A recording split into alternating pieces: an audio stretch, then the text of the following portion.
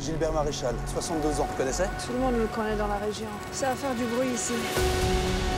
Je vous présente le lieutenant Zenko de la BR d'Étretat. On a des traces de sang effacées, ici et ici. Tenez au courant dès que vous avez du nouveau.